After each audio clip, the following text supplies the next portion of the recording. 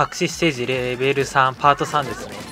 まあここはこうやってヘビーブロックを使ったまあ激ムズステージになっています。こうやってどんどん進んでいきます。とりあえずとりあえず奥にあるヘビーブロックをつけて進んでいく。でここなんですけどね奥に小ジャキを投げて奥のヘビーブロックを起動させつつ、まあ、こうやって進んでいくと。でこうやって行くと。でこれだけ回収してまた次も使うんで小ジャキ回収していきます。でここで小ジャキ奥のブロックに投げてあげてまあ、叩いてもらう。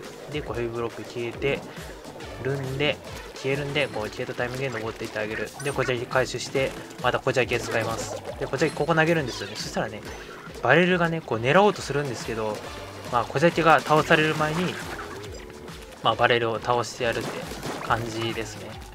で、ここなんですよね。潜んでたらね、バレないんで、こうやって奇襲かけてあげる。そしたら素早く簡単に倒すことができるんで、まあ結構楽ちんです。そうやってあげたら。で、ここは、まあ壁移動していくんですけど、これ結構上目、数値でいっていいんで、数値でいきます。で、これだけ回収しといて、こうやって上に投げといてあげる。で、あれ爆発していったら、あ、このね、奥のね、ヘビーブロックがね、起動するんで、これが、ここ上に上がったタイミングで飛ぶ。このタイミングです。上に生えてきたタイミング、あの場所で上に生えてきたタイミングで飛んだら、いい感じに素早くいけます。で、ここが敵いるんですけども、とりあえず左側の敵倒して、まあ、でっかい部分倒してってやってあげれば、もう余裕でいけるんで、あれ。まあ、いけます。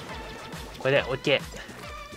とりあえずチェックポイント。ここも続けていけたらいいけど、ここも練習してきたんでね。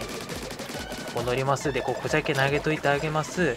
で、ここ、ボムちょっと邪魔なんで破壊してあげる。ここ登っていって、ここ行く。まあ、ここは道な道なりに進んでいきます。またあの爆弾、爆弾が起動したらね、ヘビーブロック消えるんで、こうやって小崎を置いといてあげる。で、この辺で回収して、で、このヘビーブロックはね、今出してたヘビブロック邪魔になるんで、こうやって早めに消しといてあげます。でこうやって、で、進んでいくと。これ、あのヘビブロックがいたら、こいつが、あれだからね、爆発するから、消しといてあげます。で、ここも壊しといてあげて、こいつに乗って、まあ、進んでいくと。まあ、ここも、あスプリンクラーがね、ヘビブロックを出してるんで、スプリンクラー消してあげて、こうやって進むと。で、まあ、奥は、あのヘビブロックを出してあげることで、あの、ロケットたちがね、まあ、こう通行止めされるんで、で、ここのヘビブロックを消して、進んでいくという感じですね。で、ここで乗り換えです。危ねえ。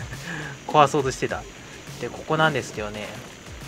まあもうこ投げてあげて爆発する瞬間にもう降りといてあげる。そしたらいい感じにいけます。よかった。一発でいけてよかった。チェックポイントから。ここでパーツ3は終わりです。